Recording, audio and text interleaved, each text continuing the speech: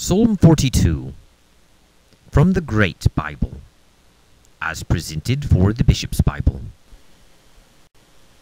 To the Chanter, a Psalm of David.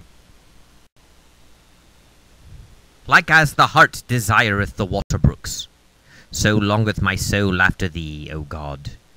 My soul is athirst for God, yea, even for the living God. When shall I come to appear before the presence of God? My tears have been my meat day and night, while they daily say unto me, Where is now thy God? Now when I think thereupon, I pour out my heart by myself, for I went with the multitude, and brought them forth into the house of God, in the voice of praise and thanksgiving, among such as keep holy day. Why art thou so full of heaviness, O my soul? And why art thou so disquieted within me? Put thy trust in God, for I will give him thanks for the help of his countenance. My God, my soul is vexed within me, therefore I remember the land of Jordan, and the little hill of Hermon.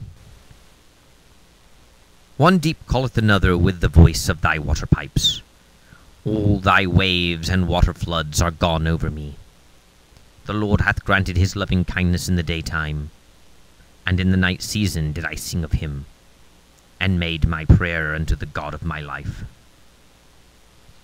I will say unto God my strength, Why hast thou forgotten me?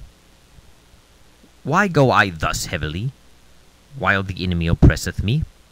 My bones are smitten asunder as with a sword while mine enemies that trouble me cast me in the teeth, daily saying unto me, Where is now thy God? Why art thou so vexed, O my soul? And why art thou so disquieted within me? O put thy trust in God, for I will yet thank him, which is the help of my countenance and my God.